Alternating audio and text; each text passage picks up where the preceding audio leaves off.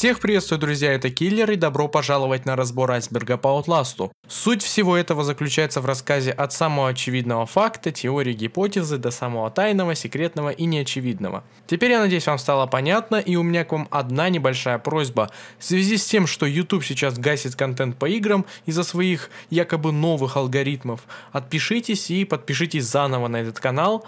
Очень сильно вас прошу, ребят.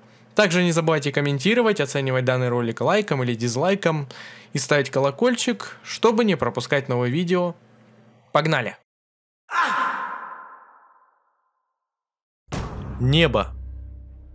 Лечебница Маунт Мэссив. Психиатрическая лечебница Маунт Мэссив – это один большой комплекс, содержащий в себе различные отделения. Главный вход в лечебницу находится в административном блоке, на котором возвышаются две высокие башни. От него внутренний двор лечебницы выходит церковь, под ней на нижнем этаже расположен кинотеатр. В левой стороне от главного входа в комплекс располагается мужское отделение, а с правой – женское. Эти отделения соединены с тюремным блоком. За тюремным блоком и по соседству с ним находятся такие отделения, как госпиталь, рядом с которым находится территория зала отдыха, и профессиональный блок, с которым по соседству расположена площадка для сушки. Под отделениями находится большая канализация, а под административным блоком располагается огромная подземная лаборатория.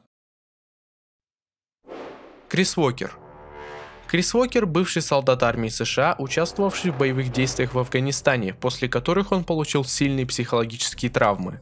Был отправлен на лечение в психиатрическую клинику Спиндлтоп в штате Техас. Над ним и его бывшими военными коллегами проводили терапию, связанную с мифологической культурой тех мест, где он воевал.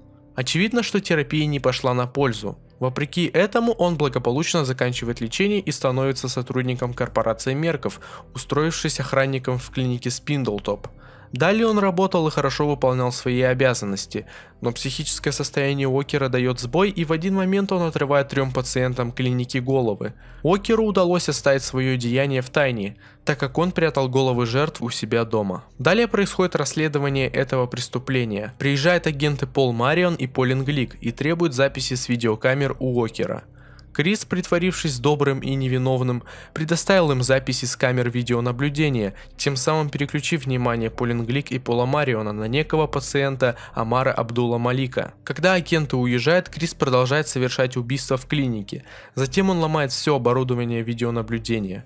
Далее опять приезжают агенты и видят следы преступления Уокера в клинике. Полин и Пол направляются в дом Уокера и находят все головы жертв Уокера. Крис их застает и происходит потасовка. Уокер теряет сознание после того, как Полин въехала в его дом на автомобиле.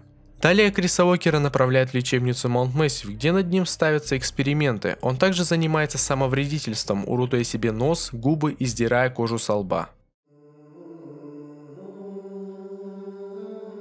Мартин Арчимбот Мартин Арчимбот, также известен как отец Мартин или священник, является пациентом в лечебнице Маунт Мэссив. Влияние рисования в терапии производило на его психику отличные результаты, но после отмены художественной программы Мерков у Мартина усилились шизоаффективные утверждения о голосах высших сил. Когда в лечебнице начинается беспорядок, Мартин и группа пациентов образуют религиозную паству, поклонявшуюся Волрайдеру. За отцом Мартином также пошли близнецы, которые стали главными помощниками священника, и в конце концов отец Мартин сжигает себя заживо на кресте для воссоединения с Волрайдером. Пациенты. Пациенты – это жертвы экспериментов, проводившихся в лечебнице. Большинство из них погибло, кто-то полностью обезумел, и лишь малому их количеству удалось остаться в здравом уме. Большинство пациентов имеют бледную кожу и увечья, вероятно связанные с экспериментами, которым они когда-то подвергались. Есть несколько видов пациентов. Это садистские, жестокие и безжалостные преследователи. Есть напуганные пациенты и пациенты, которые склонны к самовредительству, а также те, кому удалось сохранить человечность и разум. Билли Хоуп Уильям Хоп является первым хозяином Волрайдера, единственным долгоживущим носителем. Билли находится в подземной лаборатории, его можно увидеть в сфере, наполненной жидкостью и различными химическими веществами. Из него торчат латексные трубки, поддерживая жизнеобеспечение. Билли верит, что доктор Рудольф Вернике словно как отец, как утверждает сам доктор. Уильям не был психически больным, как остальные пациенты. До того, как он был отправлен в Маунт Мэссив, он дал согласие на участие в эксперименте на условиях денежной компенсации для его матери и благотворительного взноса в пользу ее церкви. Несмотря на то, что Волрайдер был убит Майлзом Апшером, Волрайдер, используя тело Билли, позже оказывается в фургоне матери Билли, Тиффани Хоуп в то время как Тиффани разговаривал с агентами Полом Марионом и Полин Глик. Глик упоминает, что Билли был на самом деле не психически болен, а что мать продала его Murkoff за большую сумму денег. Услышав это, Билли напал на Тиффани, сказав ей, что он любил ее, а затем разорвал ее на части. Затем спецназ Мерков атаковал трейлер с помощью инфразвукового оружия, установленного на нескольких больших транспортных средствах, которые предположительно покончили жизнь Билли навсегда. Это рассказывается в третьей части комикса Outlast Доклад Мерков. Поверхность айсберга. Корпорация Мерков – Корпорация Мерков – это крупная организация, которая занимается научными исследованиями и разработками. Притворяется благотворительной компанией, но на самом деле организация занимается безумными и бесчеловечными экспериментами над людьми. Двумя основателями корпорации являются Алан Тьюринг и Рудольф Верники. Мерков не дает своим сотрудникам возможности общаться со своей семьей и друзьями, опасаясь, что их незаконные и аморальные эксперименты станут достоянием общественности. Корпорация пытает, убивает или подвергает экспериментам любого, кто пытается разоблачить ее саму и ее планы. Мерков Hardline Security – тактическое подразделение корпорации. Они имеют право захватывать объекты Мерков в случае чрезвычайных ситуаций. В игре их можно увидеть в качестве спецназа. Подробнее рассмотрим это подразделение позже. Мерков Research and Development руководит научными проектами, в которых участвует корпорация. Она работает как над изучением потенциальных областей для получения прибыли, так и над их преобразованием в рабочие модели. В игре это подразделение отвечает за создание проекта Wallrider. Его исполнительный директор Ричард Рагер хочет расширить проект Wallrider, включив в него пациентов-женщин. Murkoff Psychiatric Systems. Вероятно, специально создана для проекта Wallrider. МПС состоит из врачей, ученых, санитаров и охранников, которые работают с пациентами в Маунт Мэссив. Тактическое подразделение Murkoff. Во время эвакуации 17 сентября в Маунт Мэссив было вызвано тактическое подразделение, или спецназ, которое в составе трех военных машин приехало в Маунт Мэссив. Солдаты пробрались вовнутрь лечебницы. Часть из них направилась в подземную лабораторию. Однако под землей все спецназовцы были атакованы Волрайдером, который безжалостно разорвал их всех. Это мы можем увидеть, когда священник вкалывает нам снотворное перед появлением в тюремном блоке. Военным, находящимся наверху, также не повезло, ведь в административном блоке на них нападает огромный пациент Крис Уокер. Во время жестокого боя Крис Уокер нейтрализует всех спецназовцев, почти каждому из которых он отрывает голову. Выжил лишь один солдат, Стивенсон, которого Крис насадил на арматуру в темной библиотеке, но и он вскоре скончался. Спустя несколько часов на рассвете в лечебницу Маунт Мэссив приезжают новые отряды спецназа, которые пробираются вовнутрь лечебницы, начиная массовую зачистку – Многие солдаты отправились вглубь лечебницы, чтобы полностью устранить всех сбежавших пациентов. Некоторые спецназовцы спустились в подземную лабораторию, где они встретились с доктором Верники. После того, как Майлза Апшера убивает спецназ, появляется Волрайдер и жестоко расправляется со всеми находящимися там военными. Остальные солдаты проверили каждый уголок лечебницы. В конце концов, спецназам удается зачистить лечебницу Маунт Мэссив и завершить этот ужасный инцидент. Дата событий игры о дате событий игры известно из документа «Информатор», который написал Вейланд Парк Майлзу Апшеру. В документе написана дата 17 сентября 2013 года. Позже мы подробно разберем временную линию игры. Женщины в лечебнице. Морфогенетическое кондиционирование создавало у женщин ложное чувство беременности, поэтому они были переведены в другое место, куда, к сожалению, неизвестно. Вторая концовка игры – Примерно в первые три года после выхода игры был популярен миф о второй и не только концовке оригинальной игры. Правда ли была вторая концовка? На ютубе осталось по сей день куча видео по этому поводу, а именно были варианты концовок, где Майлз просыпается, когда в него стреляют спецназовцы. Также была концовка, когда в начале игры Майлз залезает в комнату, где взрывается лампочка и там появляются пациенты, и после чего можно было спокойно убежать. Концовок было придумано куча, и то, что я рассказал, это всего лишь малая часть. Также в конфигурации игры в файле defaultgame.ini можно найти настройку, отвечающую за то, когда и в какой локации у Майлза будут отрезаны пальцы, или в какой локации у нас будет разбитая камера. И это на самом деле может играть значительную роль в фейках второй концовки. Также немаловажно, что красные бочки сами заявляли в своем твиттере, что второй концовки в первой части игры не существует. Прототип лечебницы Маунт Мэссив в реальной жизни. Ричардсон Олмстед комплекс находится в городе Баффало, штате Нью-Йорк. Строительство началось в 1870 году, и через 10 лет строение было готово. Здание было построено американским архитектором Генри Хобсоном Ричардсоном в сотрудничестве со знаменитой ландшафтной командой Фредриха Лом Олмстеда. Строение использовалось как психиатрическая лечебница. В середине 70-х годов прошлого столетия лечебница была закрыта и записана в Национальный реестр исторических мест США. В 2006 году здание было отреставрировано, и в настоящее время там находится отель, но некоторая часть здания по-прежнему заброшена. Под водой. Проект МК Ультра. Проект МК Ультра – это программа, созданная ЦРУ для исследования и разработки лекарств и процедур для допроса и контроля разума. Некоторые из этих процедур были признаны незаконными, в частности те, которые экспериментировали на людях без их ведома или согласия. Филиал программы был создан в 50-х годах и работал в Маунт-Мэссив до его закрытия в 70-х. Одно из исследований в МК Ультра в начале 50-х годов под названием «Синяя птица» было сосредоточено вокруг поведенческих исследований человека с помощью методов гипнотической индукции и сна, которые будут применяться в военных делах и делах агентства. Пациенты, принятые в Маунт Мэссив, были подвергнуты этим тестам. Заключались они в изменении поведения одного пациента, чтобы совершить убийство другого, стирая его или ее воспоминания после акта. Эти эксперименты оставались в тайне, и пациенты проверялись медицинским персоналом. В 1957 году МК Ультра исследовала потенциальное использование психохимических веществ для влияния на поведение во время операций политических действий. После этого отчеты проекта Wallrider и вскрытие прошлых подопытных показали использование тяжелой психохимической дозы, что входит в цели программы. В 1958 году у отдела технического обслуживания агентства был запрошен бюджет для продолжения исследований доктора Рудольфа Верники. В конце концов разразился скандал из-за этих исследований в Маунт Мэссив, что привело к закрытию проекта в 1971 году. Вдобавок можно сказать, что данный проект существовал в реальной жизни при поддержке ЦРУ. Закрытые комнаты и места – в игре имеются такие места, которые либо закрыты, либо хорошо спрятаны. В них могут прятаться пациенты. Один из хороших примеров перед моментом, когда мы последний раз встречаем Криса Уокера в данной локации. Это место темное и заколочено досками, что образует некую безопасность для человека, который находится там. Еще один пример можно привести с пациентом, который находится в лифте в женском отделении. Зацикленная анимация персонажей. Некоторые пациенты могут бесконечно повторять одно и то же действие, например, двигать рукой, ходить из стороны в сторону, или как уже выше упомянутый пациент, канализацией очень странно двигаться. Можно сказать, что они психически нестабильны и повторение таких действий для них это совершенно нормально.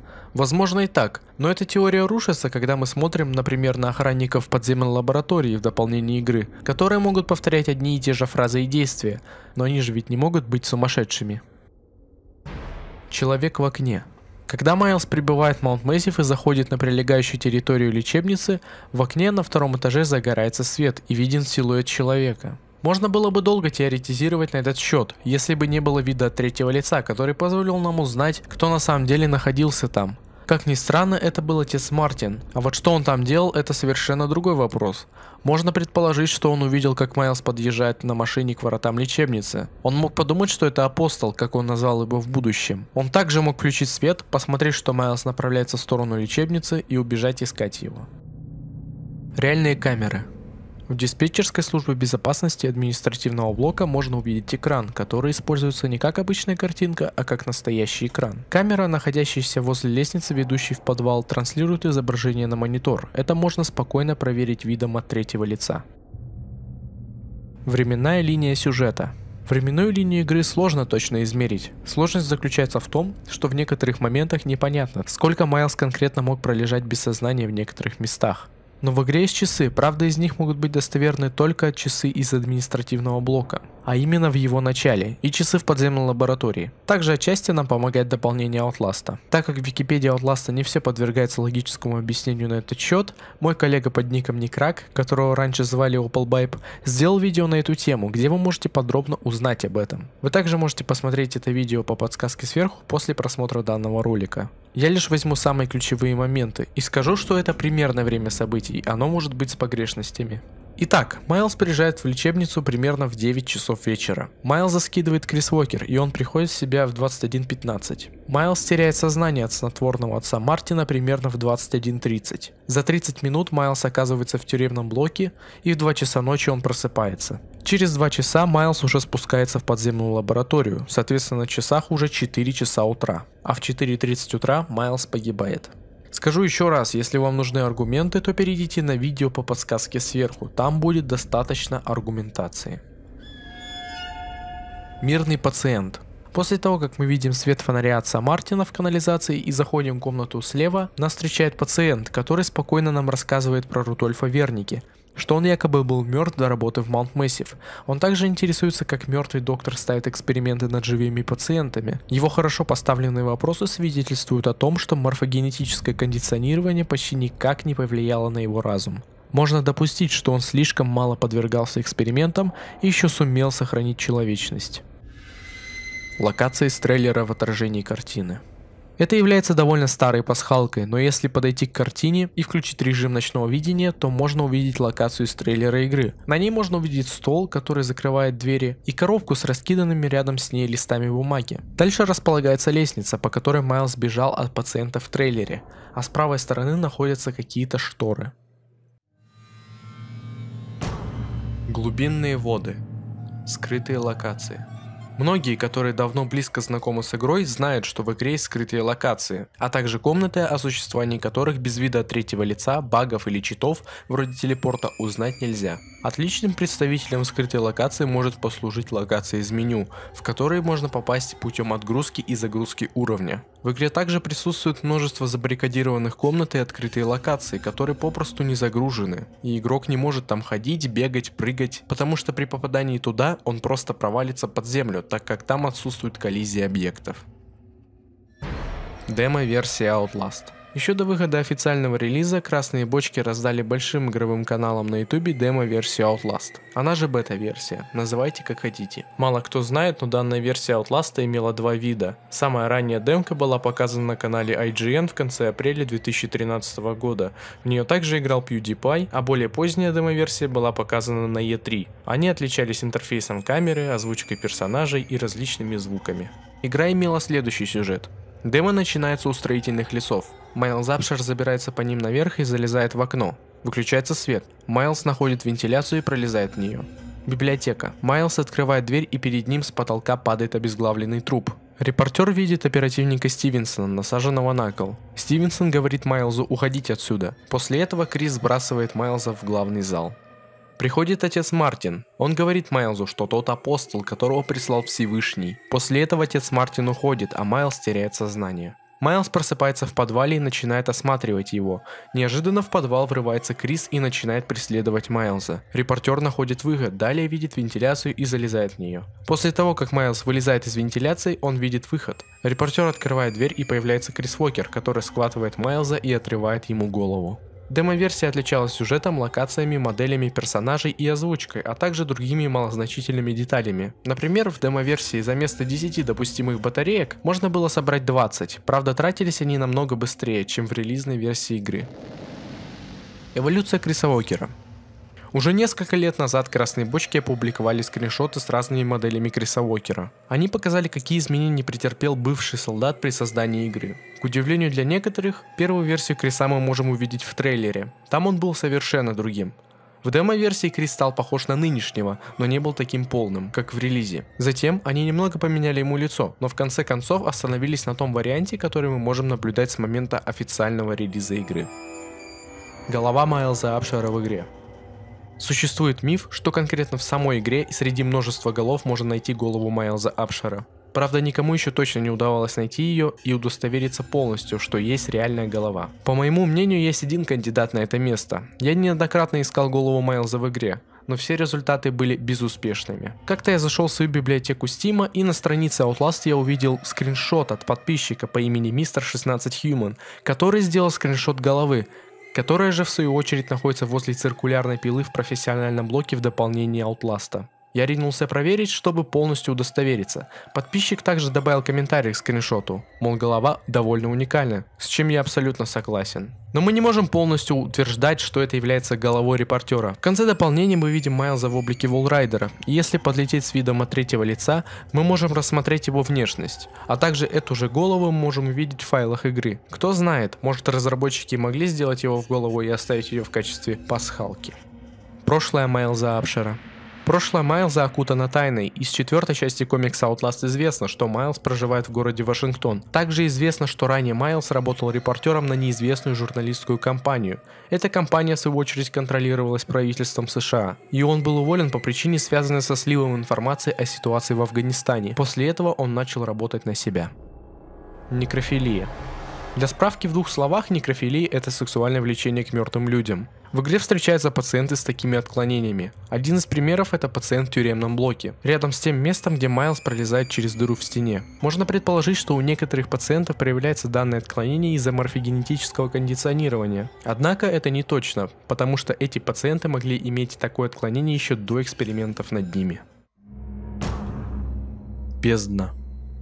Ричард Рагер был насильником. Ричард Трагер был насильником до экспериментов над ним. Это рассказывается во второй части комикса Outlast. Коллега Ричарда Трагера по имени Мишель была изнасилована им, и после этого она забеременела от него. И Трагер требовал, чтобы она сделала аборт, угрожая ей увольнением. Мишель очень переживала и боялась кому-то об этом рассказывать. Она написала жалобу на Трагера, что тот ее изнасиловал. Она хотела, чтобы Ричард был уволен.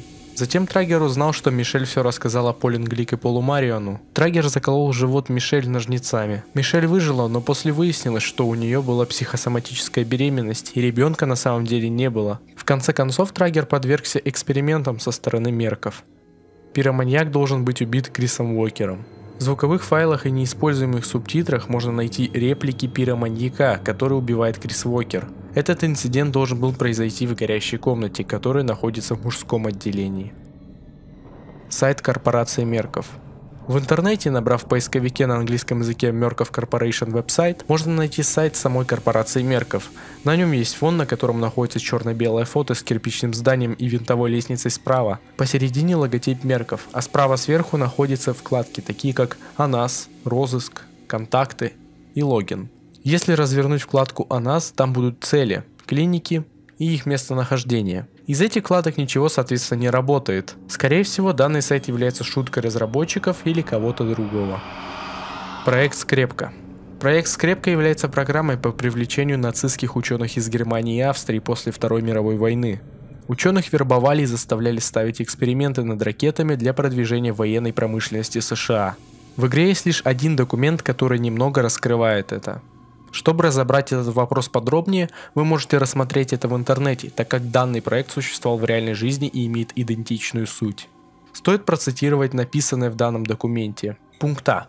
Прежде всего, проект Скрепка позволяет воспользоваться услугами зарубежных специалистов для решения особых задач, стоящих перед армией, военно-морским флотом и воздушными силами. Пункт Б. Проект 63 является по преимуществу программой опровержения и желательно полного уничтожения компрометирующих свидетельств. Цель программы – обезопасить работу в Соединенных Штатах для некоторых выдающихся немецких и австрийских специалистов через отрицание факта их работы на потенциального противника. Также отличным примером нацистского ученого вселенной Outlast может послужить Рудольф Верники, который позже стал одним из основателей корпорации Мерков. Эксперименты над близнецами – Эксперименты над детьми-близнецами происходили во времена Второй мировой войны в концентрационных лагерях и были начаты для того, чтобы обнаружить схожесть и различия в их генетике. Близнецов классифицировали по их возрасту и полу и располагали в специальных бараках. Эксперименты включали в себя инъекции различных химических препаратов в глаза близнецов, чтобы проверить, возможно ли изменить цвет глаз. Также проводились попытки сшить близнецов, чтобы искусственно создать сиамских близнецов. Существует теория, что таким же экспериментам в Маунт Мэйсив могли подвергнуться близнецы, те, которые братья, так как они имеют шрамы на животах, что может свидетельствовать как и о попытке данного эксперимента над ним, так и о том, что при рождении они были сиамскими близнецами, которые были разделены. Фух. Надеюсь, вам понравился данный ролик, ребят. Я постарался набрать как можно больше интересной информации Если мы тут наберем как можно больше лайков, я сделаю подобное по дополнению Outlast, а также по второй части когда-нибудь. Потому что информация накопать еще можно достойно. Опять же, не забывайте ставить колокольчик, ибо YouTube в последнее время хитрит с уведомлениями. А также подписаться на канал, поставить лайк и трончик этому видосу. С вами был Киллер. До встречи!